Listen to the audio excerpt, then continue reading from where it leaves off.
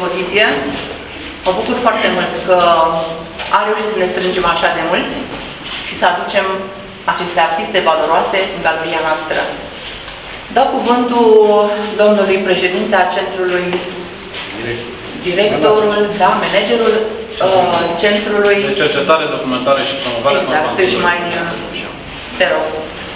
În primul rând vreau să felicit artistele pentru acest eveniment și pentru aceste lucrări extraordinare de pe Siemens Galeriei Constantin Bujiu. Vreau să felicit uh, pe toți care s-au, au fost implicați în aceste eveniment. Pe doamna Mariana Trătițan, care a avut o implicare covârșitoare. Pe domnul Vasile Tudor, și, dragilor, vă mulțumesc și vouă că sunteți într-un număr atât de mare, încât rar am văzut în galeriile voastre. Vă rog. Dau cuvântul domnului uh, președinte al uh, filialei uh, artiștilor plastici Târgu Jiu, profesor, conferențiar, Vasile Fiorea. Bună ziua! Avem bucuria nespusă și sunt foarte emoționat să prezint această expoziție care uh, onorează orașul Târgu Jiu și galeriile municipale, galeriile Brâncuș din Târgu Jiu. În primul rând, vreau să-i mulțumesc Maria, Maria, Marianei Crătița pentru gestul ei, pentru munca pe care o face în calitate de curator, având în vedere că anul acesta chiar uh, s-a autodepășit, a avut niște proiecte foarte, foarte importante, uh, la care o parte din asta a fost martori. Uh, iată că vine cu un nou proiect, aduce în Târgu Jiu trei artiste care, uh, deși nu mai au nevoie de niciun fel de prezentare, eu totuși o să fac o minimă prezentare a lor. Este o expoziție care reunește genul acesta artelor decorative, care e legată de arta uh, tapiserii, da? de textile, dar, dar uh, ea excede și la toate artistele excede genul tapiserii, pentru că, așa cum o să vă descriu în câteva cuvinte, o să vedeți că fiecare dintre domnile sale, fiecare dintre artiste, uh, adaugă ceva genului uh, tapiserie uh, în maniera proprie în uh, proiectul personal. O să încep cu să o prezint pe Gabriela Cristus Garbură, o artistă pe care eu urmăresc de foarte mult timp. Ne-am cunoscut, uh, paradoxal, nu la Târgu Jiu, de unde este soțul doctorului Garbură, ci la Baia Mare, atunci când a primit un uh, onorant premiu pentru arta care o face. Este vorba de premiul, uh, premiul Uniunii Artiștilor Plastici din România, acordat în anul 2000 18. Uh, despre Gabriela Cristus Garbure o să spun în câteva cuvinte ce consider eu că este relevant pentru opera domniei sale. Compozițiile sale întrunesc așa o artă uh, de sorginte surrealistă, la primul nivel al citirii, cam asta se vede. Uh, așa cum spuneam, genul acesta al tapiseriei, genului tapiseriei aduce cumva ceva din prospețimea picturii de Chevalier. Uh, dacă vă uitați cu atenție sau dacă vă uitați și vedeți o fotografie a lucrărilor domniei, fotografia de lucrării domniei sale, confundăm foarte repede tapiseria cu o pictură. Când ne apropiem, deja vedem acest travaliu extraordinar. E foarte greu să împrumuți din picturalitate, din pictură, în tapiserie. Propriu zis, unei arte de tip decorativ să-i aduci valorile acestea ale picturii. Uh, este o, o simbioză între regnul, să zicem, animal, între, să zicem, între antropologic și zoologic, uh, toate strâns sub uh, spectrul acesta al metamorfozei, pe care, care, cu care ne fascinează lucrările domniei sale. O să trec la cea de-a doua artistă, este vorba despre Mariana Negreanu. Dumnea ei ce am, ce am uitat să spun, sau poate că trebuia să adaug la final, este că toate artistele au absolvit Institutul, Institutul de Arte Nicolae Grigorescu de la București. și se simte, școala de la București aici, se simte, chiar dacă este foarte multă diversitate, nefiind o unitate stilistică neapărat și asta chiar face foarte bine expoziții. Uh, deci, continui cu Mariana Negreanu. Uh, la fel, și compozițiile uh, domniei sale, except, să zicem, cadrului acesta care vine din, din tapiserie. De ce except? Pentru că propriu zis, mai pregnant decât la Gabriela Cristus Garbură, uh, lucrările migrează spre zona, când spre zona picturală, când spre zona volumetrică, avem aceste compoziții minunate de pe acest stâlp central, în care vedem simbioza dintre genuri, dintre speciile uh, picturii și sculpturii, da? care uh, îmbogățește această, uh, aceast, acest demers al artei domniei sale.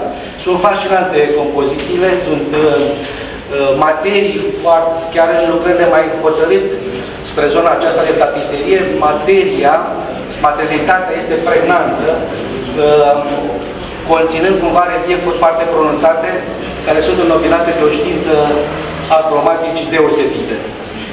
Uh, cu voia dumneavoastră prezint și ultima artistă, este vorba de Maria Voicu Rumăzescu.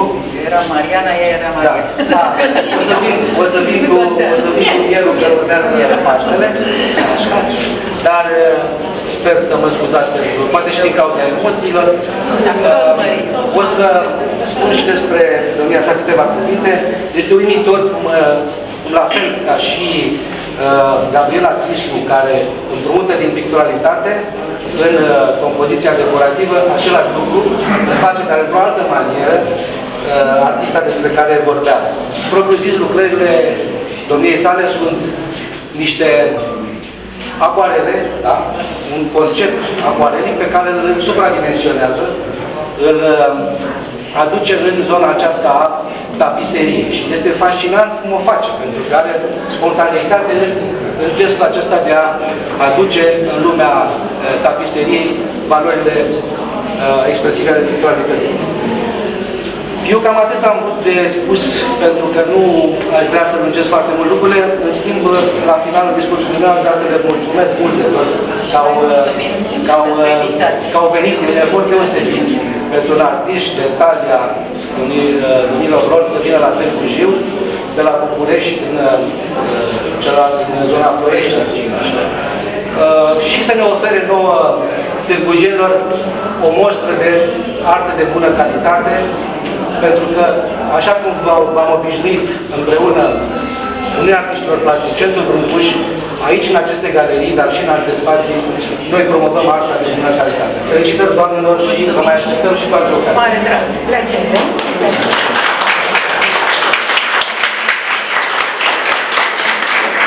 Foarte frumos, succint, uh, în cuvinte puține, s-a spus aproape tot despre cele trei artiste.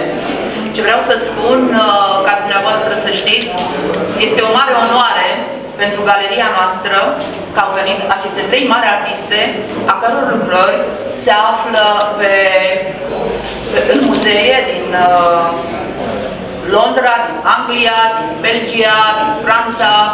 Uh, doamna Gabriela Cristu este, face parte din anumite uh, filiale uh, din străinătate, Paris, uh, Belgia, da?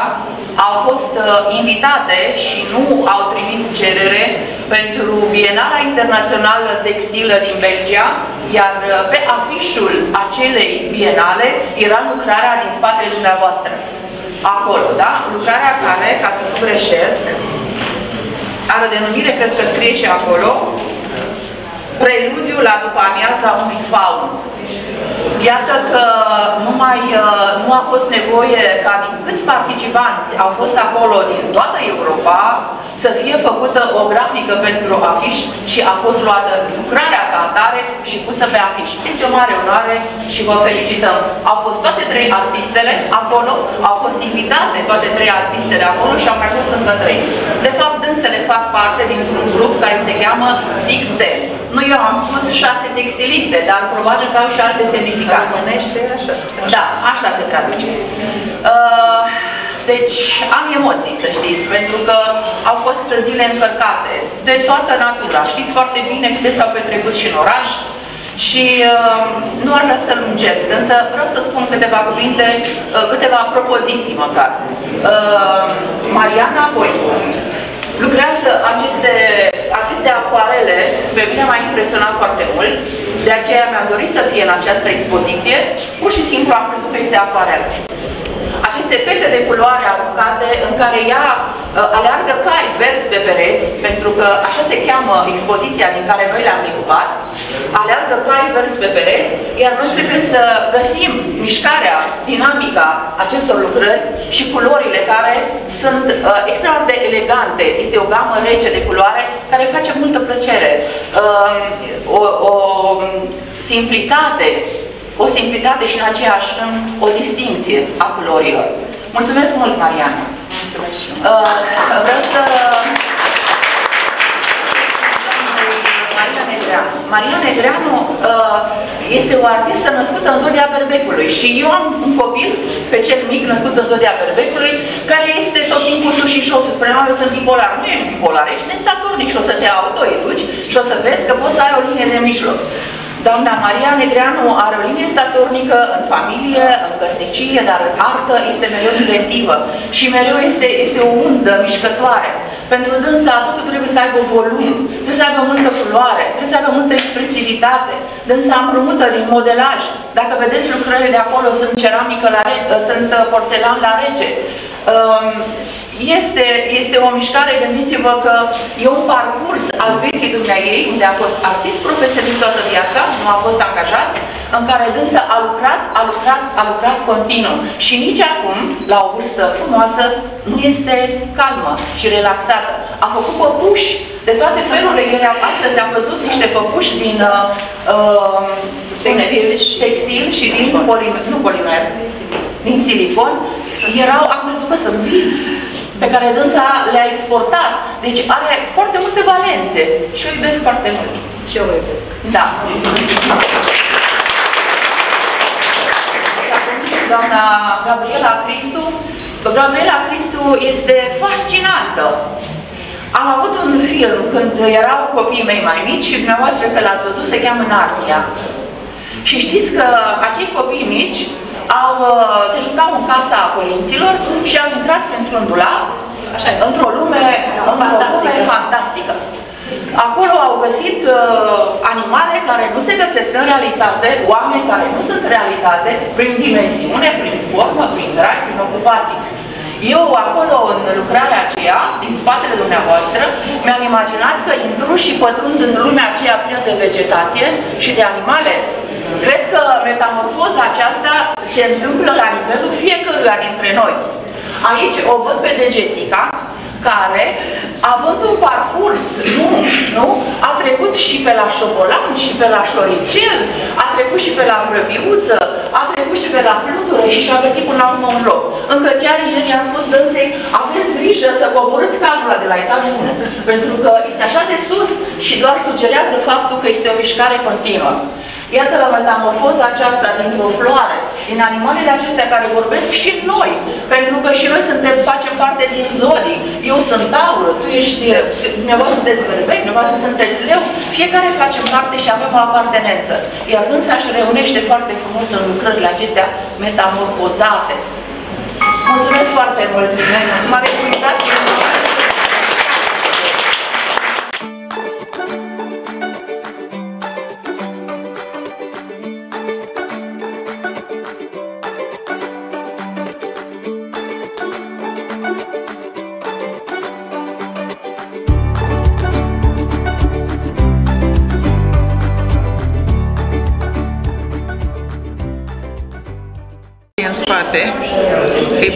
Deci, proiectul este în spate, da. Asta e proiectul mic. Aia e urzeala care se firele, da. păpușile care tragi, schimbi rostul la picioare când țeseai, apăsai pe niște tălpile, pe, pe ghergheful vertical, tragi de anumite păpuși ca să, să, să-ți faci spațiu. Și restul alegi cu mâna, deci asta e țesătură deja. Da. Și proiectul care e în spate e Se vede mai puțin. Da, e de muncă aici. E de muncă. Păi da, asta deja e urzit, s-a ajuns aici. Uite, astea sunt culorile care sunt. Fiecare păpușică care atârnă și înseamnă culoarea cu care lucrezi. Și astea sunt uh, proiectul și se dă fir cu fir. Se alege Fie tot, tot cum trebuie. Sus proiectul. sus proiectul mic, Da. în spate proiectul la mărime naturală, Naturală. eu îl colorez și aici paleta care oricum se fixează, care sunt...